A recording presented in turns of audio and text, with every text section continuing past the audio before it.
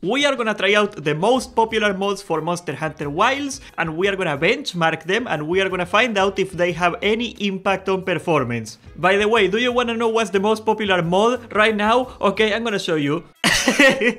Uh, we are not gonna install this one, okay? There's a bit of a war in the community between people that like the Persian lady and people that like the blonde blacksmith lady. It seems like right now the Persian lady is winning. I mean, she clearly has the equipment now. And before we go over the mods, I'm gonna give you a disclaimer. It is technically against terms of service to tamper with the game. Tamper with the game includes modding. Will you get in trouble for it? No. As far as I know, nobody has ever been banned for installing a mod. Unless it is some sort of cheating mod, that never happened. But they can do it and they reserve the right to do it. So be careful of that. Remember that they it can happen modding is still technically not allowed, so you do with that what you want. The risk is minimal, but there is a risk. Now, every single mod so far requires this thing called RE Framework. It is a tool for modifying the engine of the game, so we can inject our mods into the game. We are gonna get all these mods from Nexus Mods. As you can see, uh, about a million people already saw this mod. That's pretty crazy. So we are gonna get this one first, and we are gonna install it, and we are gonna get a baseline of how the game runs. Installing it is very simple, all we have to do is drag this one file that's on the zip into the folder of the game, which is on the Steam folder obviously. There we go,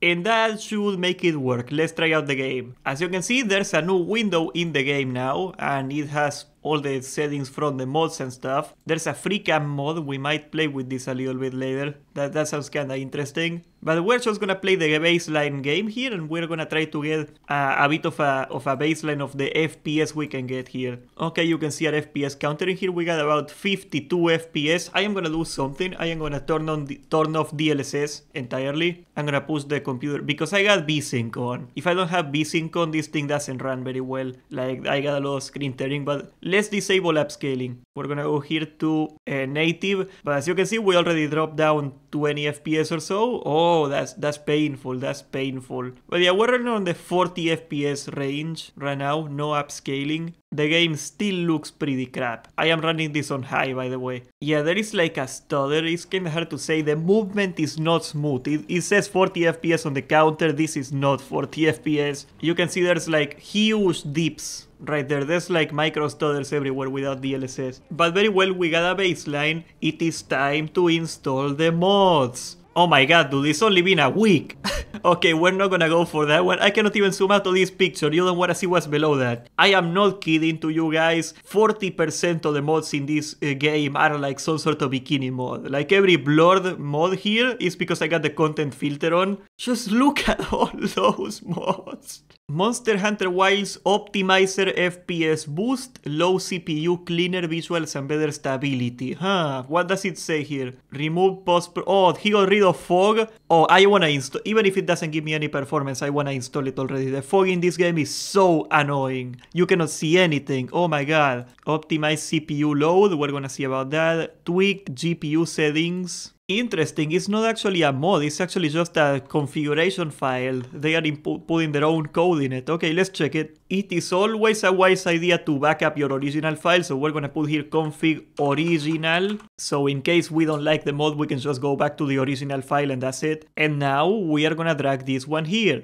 Alright, let's check the game. Oh, this doesn't have VSync on, I'm going at 70 FPS right now. Well, that's a good sign. The guy messed with the settings, so we're gonna have to take a look at the settings. Okay, so uh, 58 FPS. Wow, look at that. Okay, look at, this is actually really impressive. Like spinning my character doesn't cause almost any lag now. I, I can say, I can see the graphics are different here, so let's take a look at that. Yeah, but I can already tell you, like, the graphics are different. I like the colors. I think it is way easier to see what's going on in here, for example. The textures are hideous, so we're gonna have to change that, but this feels super smooth. This feels like a real game. I can already also tell there's something with the geometry of the walls that is different. Okay, let's take a look at what he did. Okay, he's going for FSR, that's probably part of the... Oh! I crashed the game. This game hates it when you change the upscaling and you got OBS on. It is a big problem. I don't know why, uh, because I changed my GPU. It's not a GPU issue. When I got OBS on, weird things happen to this game. That's not the mod though. That that happens every time I try to change the upscaling or something when I got OBS open. The game crashes because reasons. Yep, this is awkward. I'm gonna have to shut down OBS, I think. Okay, so he did lower the quality of the textures. Let's let's go up to high. That's gonna be a fair comparison here. Still, it says it only needs like 4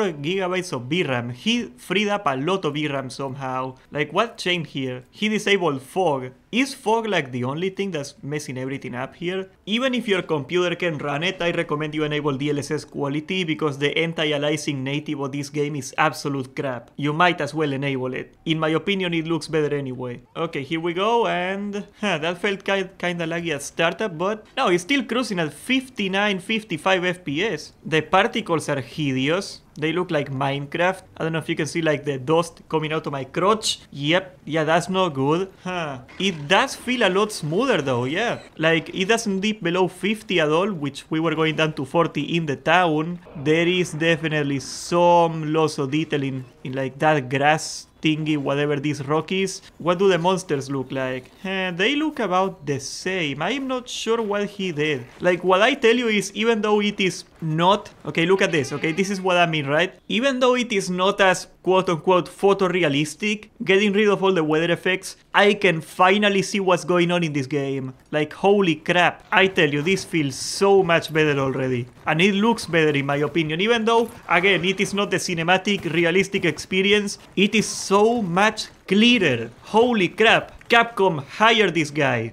Please. Okay, let's do something though. Let's do something because this actually pisses me off. What happens if I enable the uh, this one, the ray shading again? Like, let's see if I disable it. Do I go down in FPS? No, it, it feels about the same. Okay, okay. Wow, this is amazing. I gained at least 10 FPS. Was that like 50 to 60? 20% better performance. Uh, I mean, there's no reason you shouldn't install this. Even if you got an amazing PC, you might as well. This is great. I came in blind, okay? I didn't test this mod before the video. I'm pretty surprised somebody got this performance out of the game already. It goes to show how little Capcom tried, right? Like a guy with a text file can fix the game faster than Capcom. Crazy, right? Also, this is not even technically a mod. It is a configuration file and you are allowed to change your configuration file. So it is not even breaking EULA in any way. Yep, heavily recommend. You might have to change some settings. I had to change to DLSS to make it, you know, work on NVIDIA. But really freaking good mod. Holy crap, this is gonna... I, I should have installed this like day one. Wilds optimizer FPS boost, low CPU, cleaner visuals and better stability.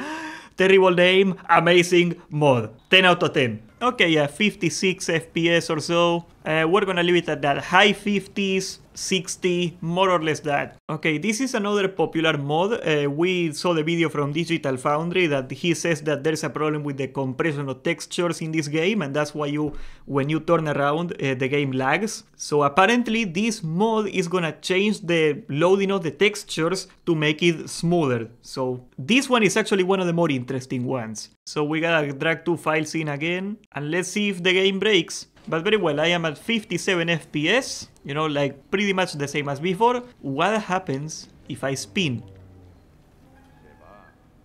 Ah, yeah, the sinusoidal whatever wave is still happening and it's still like a 10 FPS variant. That's crazy though, that you can do this and the game frame rate moves like this. That this is not normal, uh, like on the speed I'm doing it. If you do it super fast, any game is gonna do that, but that's not the case. I mean, this is the stick uh, from my controller, right? Let's go outside, let's check out that. Yeah, I feel this is even laggier. Yeah, I do not see any noticeable change for the better in here at all. So yeah, I do not recommend this one. I do not see what this thing is gonna do. Just take a look at how many NSFW mods this game already has. Let's check out the other mods, because there is a lot of really good quality of life mods. Okay, that's a neat little cute mod in here.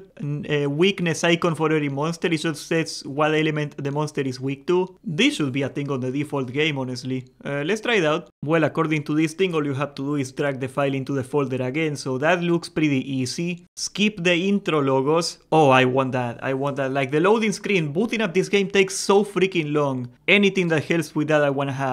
Okay, so this one you gotta put it on here where it says RE Framework. It's like a, a little folder inside the game. This one is one I wanted to be in the default game for a while, and this is one I this is why I decided to make this video and try out a bunch of mods, because this is the one mod I wanted. Monster Hunter Wilds overlay. Okay, what does this one do? It shows your damage per second. It shows your the damage of everybody. You can see there is also HP bars. I, I think I'm gonna disable that if I can disable it. I just want the damage meter honestly, but you can see right there on the top, like there's monsters with HP bars. That feels a little cheating to me. Uh, let's see if, if we can change the settings on that. But here, this is the feature I wanted to be in the core game. Like why is Capcom not doing this? There's like a little graph on top of here where it shows you the damage that everybody is doing. What's the point of going to endgame and pushing your damage if you cannot tell what's your damage, you know? Like, come on Capcom. There are some other features, but I do not speak Chinese and I don't care, I just want my DPS meter. Okay, so it says I gotta install catlib, whatever that is. Let's get that, and let's get the overlay. There is also this one which is pretty funny. They find a way to mod into the game getting free character edits, because as you guys know,